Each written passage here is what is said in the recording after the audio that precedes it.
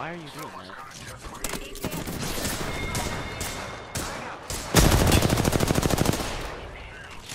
Reloading.